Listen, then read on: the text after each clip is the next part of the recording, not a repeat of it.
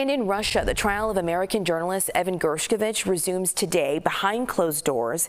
He was arrested back in March of 2023 while reporting for the Wall Street Journal and then later accused of spying for the CIA.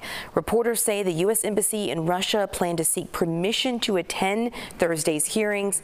There's no word if they were granted that access.